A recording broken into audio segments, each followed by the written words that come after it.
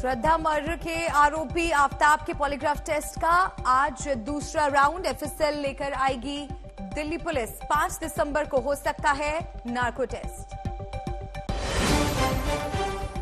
गुजरात में आज भी प्रधानमंत्री की ताबड़तोड़ चार रैलियाँ, कल सूरत में किया 27 किलोमीटर लंबा रोड शो। आतंकवाद पर पीएम ने कांग्रेस को घेरा।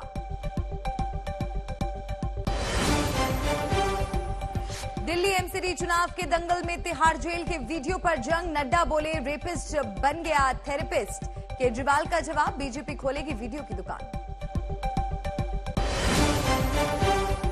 कोविड की पाबंदियों के खिलाफ चीन में भारी प्रदर्शन, बीजिंग से शंघाई तक सड़कों पर उतरे लोग, राष्ट्रपति जिनपिंग के खिलाफ भारी नारेबाजी।